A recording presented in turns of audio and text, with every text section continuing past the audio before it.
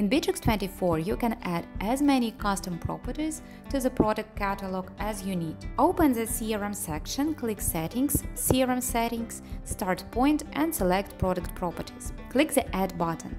Select the property type from the list. Leave the check mark in the active box and specify the property name. You can make this property field required or multiple. If so, the employee will be able to select several values at the same time.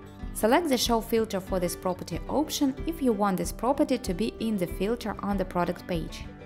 Add list values. Specify the external ID and the titles.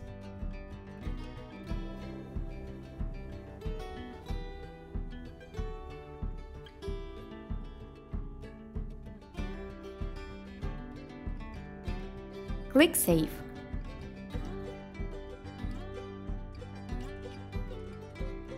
When you create a new product, you can choose the type of material.